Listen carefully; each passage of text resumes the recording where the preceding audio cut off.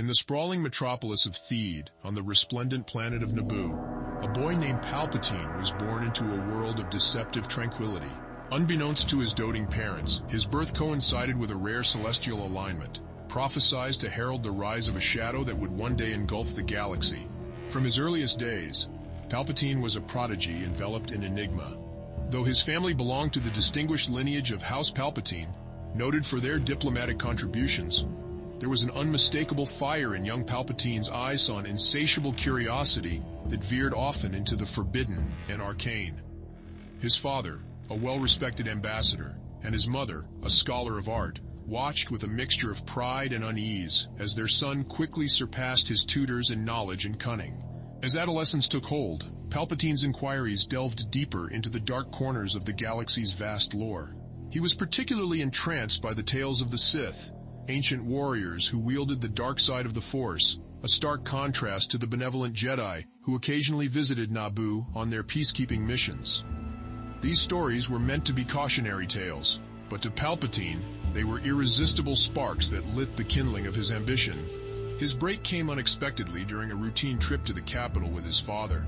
As fate would have it, their transport broke down in one of the remote sectors of the planet, near the ruins of an ancient Sith temple long buried and almost forgotten. Sensing an opportunity, Palpatine feigned illness, sending his father ahead to seek aid while he ventured into the dark heart of the temple. Within its suffocating halls, he found Ida Holocron, pulsating with dark energy. The artifact spoke to him, whispering secrets of power that could bend the will of galaxies. The holocron also spoke of a prophecy, one where a Sith Lord would rise to rule supreme, a ruler reborn from the ashes of dark legends. Palpatine felt a surge of destiny. This was his path, and his alone. As the years passed, he masked his true studies under the guise of academic pursuits. His charm and intellect made him a favorite among Naboo's elite, and his forays into politics were as calculated as they were successful. All the while, the dark side coursed through him, molding him not just in mind, but in spirit. His ambitions grew, as did his proficiency in dark side techniques, cloak and dagger diplomacy, and political manipulation. The young scholar's face that once bore an open, curious expression slowly hardened into the calculated, inscrutable mask that would one day be known only as Emperor Palpatine. Yet, even as he climbed the political ladder, the lure of absolute power isolated him. Friends became pawns, and family distant memories. Palpatine's heart grew colder, his shadow longer.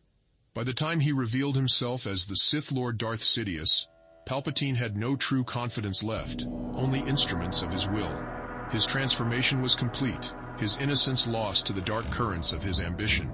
Thus the galaxy would come to know a rule of iron and fear under the reign of a boy from Naboo who once dreamed of stars, only to become the darkest star of all.